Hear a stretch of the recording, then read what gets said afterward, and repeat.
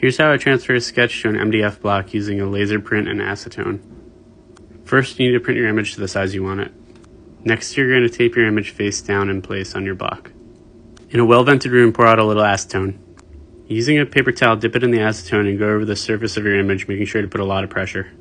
Now you can peel it off and touch up any missing lines with the Sharpie. I like to stain my block with acrylic paint so I can better see what I'm carving. Now break out those chisels and start carving away.